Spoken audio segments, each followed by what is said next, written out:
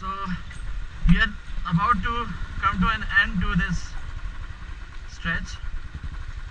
Uh, come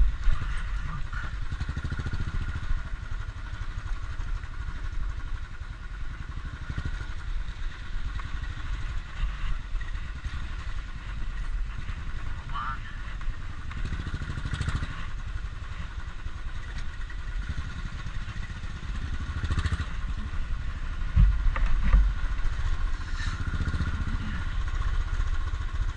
So I don't these rocks uh, are something like they can fall anytime.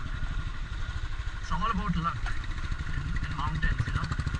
It's very dangerous to ride in such remote places.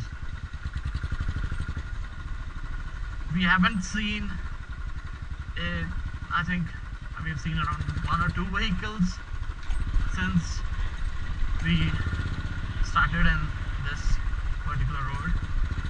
There is almost zero traffic.